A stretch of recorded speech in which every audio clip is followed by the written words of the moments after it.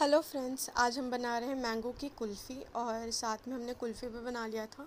तो हमने एक फ्राई पैन में दूध डाल दिया है एक केजी और उसे ना धीमे आँच पे हमने बस आ, रख दिया था कि वो बॉईल हो जाए और मतलब रबड़ी टाइप उसका टेक्सचर हो जाए गाढ़ा। इसमें आप मिल्क पाउडर और वो भी ऐड कर सकते हैं कंडेंस मिल्क वो ऑप्शनल है हमारे पास नहीं था तो हमने वैसे ही बना लिया था। और साथ में हमने उसमें ड्राई फ्रूट्स ऐड कर लिए थे। अब हम एक आम को कट कर रहे हैं। और इसके जो बीच वाला पोर्शन है, वो हम निकाल लेंगे इसकी गुठली बाहर। और ये थोड़ा सा ना फ़र्स्ट टाइम हमने भी ट्राई किया था तो थोड़ा मुश्किल हो रहा था निकालना। और आम के भी ना डिफरेंट शेप्स और साइज़ होते हैं डिफरेंट तरह के होते हैं। तो थोड़ा ना बड़ा साइज़ का आपको आम इसमें यूज़ करना है। हमारे पास उस वक्त जो था, हमने उसी से बनाने का ट्राई किया था।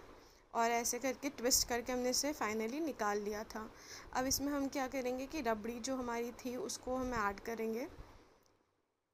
पूरा इसको फिल कर लेना है उससे। अगर और ना, इसको फिर उसके बाद हम ढक के फ्रीज़र कर देंगे। तो हमने ना उस समय ग्लास यूज़ किया था स्टील ग्लास लेकिन आप ना प्रेफर करें तो अगर आपके पास मिट्टी के बर्तन हो तो उसमें डाल के करें। वो चिपकता नहीं है, आम फ्रीज़ होने के बाद। उसके बाद जो बच गया था कुल ये रबड़ी तो उसे हमने ना आइसक्रीम बना ली थी कुल्फ़ी टाइप तो उसे हमने ये आइसक्रीम वाले उसमें डाल दिया है और इसे डाल के फिर हम इसे भी फ्रीज़ कर देंगे। चीनी ऑप्शनल है, आप अगर जैगरी पाउडर डालना चाहते हैं, वो डाल लीजिए। अगर आपको हेल्थ कॉन्शियस है आप काफ़ी अदरवाइज़ आप शुगर थोड़ा सा यूज़ करें। और ये हमारी देखिए रबड़ी सेट हो गई थी छः सात घंटे बाद। और बहुत अच्छी बनी थी। मतलब मार्केट से बेटर होता है कि आप घर में बनाएँ, क्योंकि हाइजीनिक भी होता है और काफ़ी मतलब यू यू नो प्रिजर्वेटिव वगैरह यूज़ नहीं होते हैं।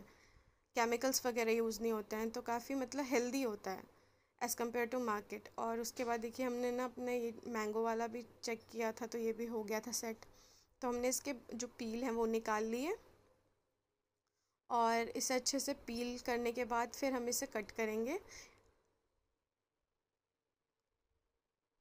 और ये फ़र्स्ट टाइम था, ऐसे हम डिफरेंट रेसिपीज़ डालते रहेंगे।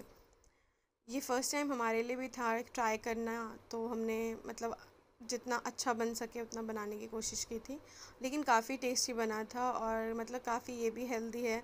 अगर बच्चे आम खाने से मना कर रहे होते हैं तो ये परफेक्ट अल्टरनेटिव डेज़र्ट है, वो इन्जॉय भी करेंगे और मतलब मांग मांग के भी खाएँगे। और इसे कट कर लिया हमने पीसेस में। और ये देखिए, ये कितना अच्छा लग रहा है लुक इसका। और इसके बाद हमने इसे चेरी से टॉप किया था। बहुत अच्छा बना था, काफ़ी अच्छा बना था। कुल्फ़ी भी बहुत अच्छी बनी थी और ये भी। So if you like this summer special dessert do like and subscribe our channel and let us know that you tried this recipe too and enjoyed it thank you